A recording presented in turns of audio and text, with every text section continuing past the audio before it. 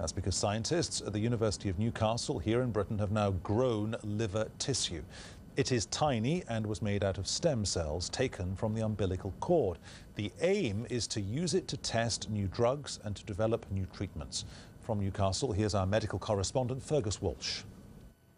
This is umbilical cord blood from a baby born in Newcastle this morning.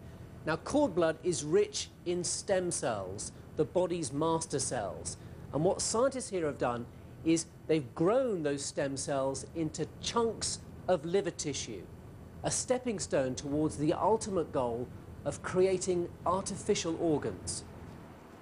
So how was it done? Well, the stem cells were placed in this small bioreactor developed by the space agency NASA. It contains a chemical cocktail which coaxes the stem cells to turn into liver tissue.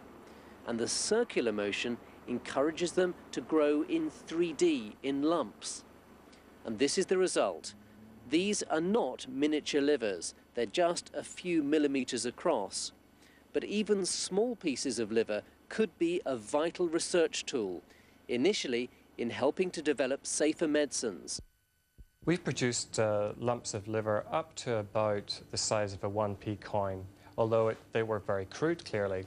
In the future, we hope to develop these forward to something which is large enough to do full drug testing on, and this will help us to develop much better drugs, which are more like drugs that the human body will be able to take without side effects. For charities which support liver research, it's a welcome development. I think it probably is 10 or 15 years in the making. But the interesting thing is that the liver has got a really great ability to regenerate itself.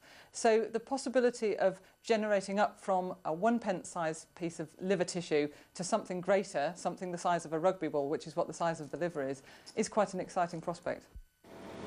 Stem cell research is still in its infancy. The goal of creating artificial organs like livers is probably decades away but scientists believe other clinical benefits could come much sooner. Fergus Walsh, BBC News, Newcastle.